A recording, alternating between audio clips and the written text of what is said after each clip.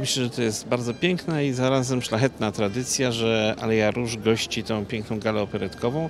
Tym razem są pewne zmiany, bo organizatorem jest krakowskie biuro festiwalowe, ale czyni to ze znakomitym partnerem, czyli Operą Krakowską. Myślę, że wszystkim spodoba się ta muzyka. Ja jestem dużym zwolennikiem muzyki, zarówno muzyki klasycznej, jak i także tej spod znaku podkasanej muzy, w związku z czym niezwykle cieszę się, że będę miał okazję być świadkiem tego wydarzenia.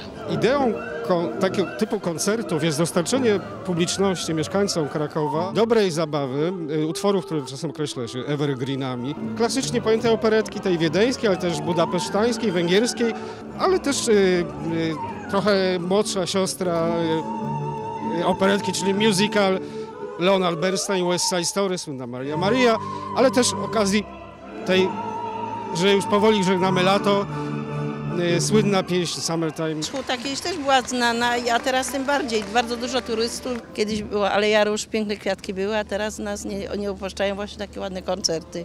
Jest wspaniałe. Tutaj mamy również y, obcokrajowców, prawda? Tutaj pani przyjechała z daleka. No i oby częściej i, i żeby nam dopisywała pogoda, bo to jest też y, bardzo ważne.